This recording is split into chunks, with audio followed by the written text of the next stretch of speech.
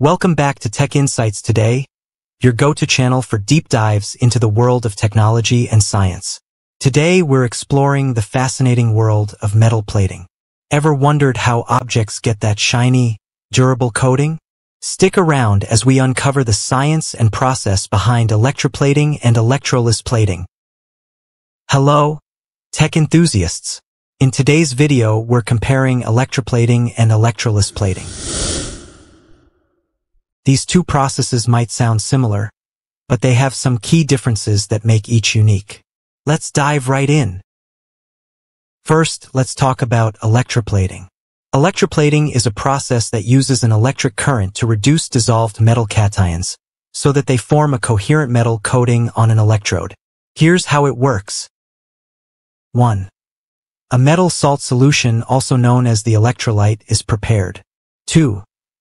The object to be plated, called the cathode, and the plating metal, called the anode, are submerged in the electrolyte solution. 3. An electric current is passed through the solution, causing metal ions to move from the anode to the cathode, creating a thin, even layer of metal on the object. Electroplating is widely used for enhancing corrosion resistance, improving wearability, and adding a shiny, attractive finish to various objects. Common applications include jewelry, car parts, and electronic components. Now, let's shift our focus to electroless plating. Unlike electroplating, Electroless plating doesn't require an electric current.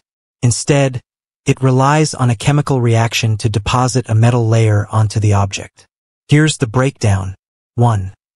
The object is cleaned and pretreated to ensure good adhesion. 2. It's then submerged in a solution containing metal ions and a reducing agent. 3. A chemical reaction occurs, depositing a uniform layer of metal onto the object. Electroless plating is especially useful for coating complex shapes and non-conductive materials like plastics. It's often used in the automotive, aerospace, and electronics industries for applications such as printed circuit boards and fuel injection systems. So what's the science behind these processes? Electroplating involves electrochemistry, where an electric current drives the reduction of metal ions. Electroless plating, on the other hand, is based on a redox reaction, where the reducing agent donates electrons to the metal ions, causing them to deposit onto the object.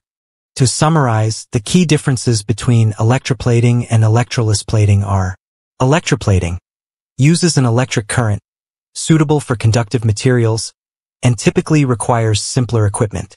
Electroless plating relies on a chemical reaction, ideal for complex shapes and non-conductive materials, and provides more uniform coating thickness. Both methods have their unique advantages and are chosen based on the specific requirements of the application. Understanding these processes allows industries to enhance the performance and aesthetics of their products.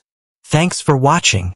If you enjoyed this deep dive into electroplating and electrolysis plating, make sure to give this video a thumbs up and subscribe to Tech Insights today for more tech explorations.